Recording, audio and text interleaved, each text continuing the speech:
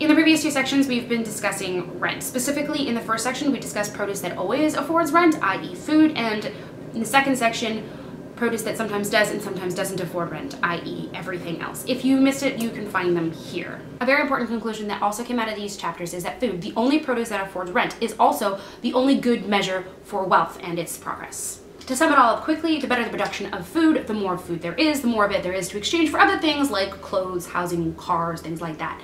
This is very easily demonstrated in recent history after large market crashes. People would bring shopping carts full of money to the supermarket because the only thing that they would be willing to trade anything for is food. So as a nation becomes wealthier, there creates a demand for things other than food, right? Because we've established that wealth derives from having an abundance of food. If you have an abundance of food, you're not looking for food, therefore you're looking for other things. People have more disposable income, and so they want to spend their money on art and industry. Therefore, demand for those things rises. And what happens when demand rises? More competition in the marketplace means prices rise as well. We just established that rising prices means that larger quantities of food will be needed to exchange for it. Okay, side note, I'm obviously not talking about the barter system here. In order to simplify the theory, Smith cuts out the concept of uh, exchanging in and out of currency. But as we discussed in chapter 4, everything does get exchanged in and out of currency. If you miss that, you can see it here. So if wealth is created by a surplus of food, and wealth creates demand for luxury that is purchased with surplus of food, then in a wealthy nation there will be a higher demand for materials that produce luxury, such as gold, silver, platinum. And the higher the demand for those materials, the more food will be needed to exchange in order to acquire them. And says Smith, in a growing economy, this would always be the case, except that we live in the real world, and particular accidents keep this positive correlation from being absolute. When we talk about markets and their sizes in chapter 3, we discuss this idea that supply and demand can affect, affect prices for produce as far as it can physically travel. Smith reinforces that idea here with a freestone quarry. I tried really hard to think of a modern example, but our transportation systems are so advanced that I really couldn't think of a modern counterpart. If you do, please leave it in the comments. So, Smith's example, a freestone quarry. The value of a freestone quarry will necessarily increase with the wealth of the place around it.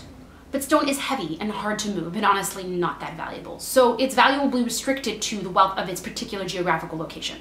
A silver mine, on the other hand, bears no such limitation. It's valuable in small enough quantities to reach wherever the demand exists, so its market is basically the world. So unless the world at large is advancing in its state of wealth, the value of silver will not necessarily increase with its surrounding neighborhoods or cities. And a single silver mine doesn't supply the entire world. And the chances that as wealth advances, more silver mines will be discovered, especially given their value, very likely. And so Smith concludes that the market for silver is the commercial and civilized world. His words, not mine. Also, that depending on the number of mines and their fertility, supply can change and influence that market in very broad strokes. And here he highlights three possibilities of what would happen to the market for silver in a world where wealth is gradually increasing. If the world is gradually improving and so the demand for silver is steadily rising, but no new mines are found, then the supply doesn't increase. This means that inevitably a given quantity of silver would be able to gradually be exchanged for larger and larger quantities of corn. In simple terms, one silver coin could be worth one ear of corn one day and then over time be worth two ears of corn, meaning the average money price of corn will become cheaper because one ear of corn could be bought with one coin and then half a coin. If, however, a whole bunch of new mines are discovered faster than the rate of improvement of the world, then gradually the metal would become cheaper. This causes the opposite effect of corn becoming more expensive. One coin buys two ears of corn and then it buys one ear. However, if the supply should increase at the same time as the demand, i.e. new mines are discovered roughly in the, same, proportion as the advancement of the world, then the money price of corn will remain the same despite any improvements. These three eventualities, according to Smith, detail every possibility of what could happen to prices and nominal value over the course of the improvement of the world. And also what he proceeds to spend the next 71 pages demonstrating in, throughout his recent history. He considers the four centuries preceding his to be proof for his theory. He narrows his examples down largely to what happened to Great Britain between the 14th and 18th centuries. He also says that they happened roughly in the same order which he detailed, and so he divides his history into three periods. As you can imagine, this analysis is very tedious, but pretty compelling evidence for the natural course of markets, at least in a Eurocentric world.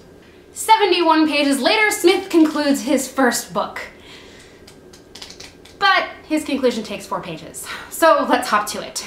If you found that analysis helpful and you feel like I've earned it, please subscribe to my channel. You can follow me on Facebook, Twitter, Instagram, Tumblr, all that wonderful social media stuff. See you next time.